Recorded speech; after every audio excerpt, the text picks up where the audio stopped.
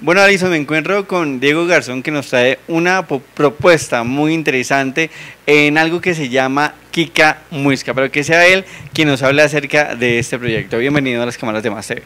Hola a todos los televidentes de Más TV. Venimos a traerles y hablarles un poco de este maravilloso proyecto recreo artístico y cultural que se viene para Facatativa. Bueno, ¿cuáles son la, ¿cuál es la finalidad de este proyecto? Es brindarle a Facatativá, a la sabana y al país, y por qué no a gente de otros países, una experiencia nueva, una experiencia novedosa que combine la recreación, pero que también combine el arte, que combine la cultura y que se vuelva un entorno diferente a todo lo que han conocido antes. Bueno, para aquellos que dicen, bueno, ¿qué Camuisca en dónde queda? ¿Dónde quedaría ubicado para que todo el mundo sepa más o menos dónde está? Queda ubicado donde era Zipalandia, junto al parque arqueológico, atrás del edificio que llaman Clínica Salucop. Bueno, ¿qué clase de eventos se van a presentar allí? Bueno, tenemos nuestra inauguración el próximo 24 de junio. Eh, tenemos todo el día un show maravilloso preparado para la gente, vamos a encontrar mitos y leyendas, vamos a encontrar comparsas, vamos a encontrar música en diferentes estilos, vamos a tener artistas de renombre nacional, vamos a tener DJ, es una fiesta muy completa que vamos a tener para todos los que quieran vincularse y los invitamos para que aprovechen este maravilloso Día del Padre y celebremos juntos podemos decir de pronto nombres de los artistas que están invitados para que se anime la gente a asistir? Claro, empezando porque ese día juega nuestra selección Colombia, entonces vamos a tener un despliegue técnico maravilloso, cinco pantallas gigantes, vamos a traer al DJ John Marín de Tropicana, un DJ muy famoso, vamos a tener una nueva estrella de, la música urbana como lo es D.O.B., que está lanzando precisamente su producto en nuestro parque. Tendremos artistas locales de muy alto nivel como la orquesta La Tocabanda.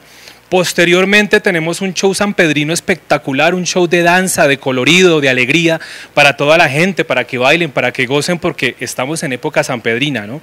Y también tendremos Los Hispanos, esta gran y reconocida orquesta, y finalizaremos con Jesse Duribe, este gran cantante. Posterior habrá un gran cierre que es sorpresa. Bueno, entonces para que todas estas personas se animen, ¿tiene algún costo especial la entrada? Sí, hay varios costos. Tenemos palcos desde un millón de pesos para 10 personas. Eh, tenemos otro de 900 mil también para 10 personas. Una zona VIP cuya entrada cuesta 70 mil pesos y tiene una muy buena ubicación en silletería. Y una zona general es de pie a 50 mil pesos.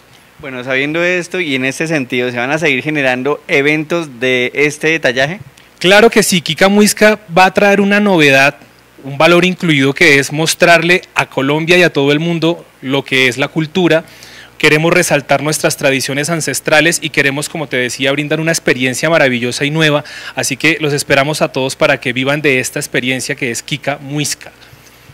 Bueno, entonces ya saben, pueden acercarse a Muisca, donde era antes Zipalandia, ahí en el al ladito del Parque Arqueológico Piras del Tunjo, para que puedan asistir y deleitarse, especialmente este mes del Padre, que la verdad eh, va a estar imperdible. Muchas gracias por haber venido a Más de Canal 3 y por supuesto las puertas siempre quedarán abiertas.